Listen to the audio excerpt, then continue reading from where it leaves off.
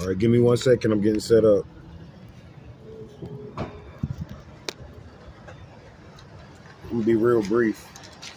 However, um, I want to start addressing this in the mystery schools. Um, there were different beings, and there's a group of beings that, like how you have a mother, they have a group of mothers, and they were born in or conceived in a, a birthing center. And there was still a sacral energy exchange that had to take place in order for these beings to, to come into existence. There still had to be a sacral energy exchange. And that's what I want to kind of focus on. And then in, in the future episodes, I'll go into more of the story. But a sacral energy exchange, which you call sex, can happen in many ways. And there's three ways I'm going to point out here.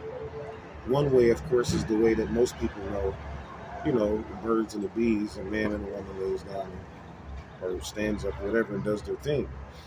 And then second, there's another way or a sacral energy exchange that can take place where a male that may be so so-called isolated can actually have a, a ejaculation or orgasm, whatever you want to call it, and this can be contained not only the semen, I'm saying, but the energy that's emitted can be contained and distributed amongst different women. That's one way, and then there's another way. There's a few other ways, these are the main ways gonna point out. And then there's another sacral energy exchange where you, a man or a woman, actually has a sacral energy exchange with the planet, with, with the planet Earth. And this is a really deep sacral energy exchange because this is when you go into certain parts of the earth and not just meditate, but you have what's called an orgasmic experience. It might even be better than an orgasm. And it doesn't matter, you know, how you do this. There's several ways to go about having this experience, of which I'll talk about in future episodes. But there's a way to have a sacral energy exchange with the earth, with the planet, and to create, to procreate. That's right, to procreate, to produce animals. People don't want to believe this, but like everything that you see, every animal that you see comes from our creation. It's called third creation. Like all the animals or whatever. And the animals that you see come from the mind's eye.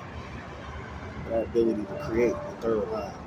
So at some point, some higher being created all of these animals, whether it was one, two, three, or four, at some point on this planet Earth, in order you call it evolution. That's jibber jabber. There's actually a way to evolve this planet in no time, like a microwave almost, like the way heating food up in a microwave versus cooking it in the oven. There's a way to evolve this planet in no time and to slow it down too as well. However, this all comes from what's called the sacral energy exchange. And I'll go more into certain stories about this in future episodes. You guys stay vigilant.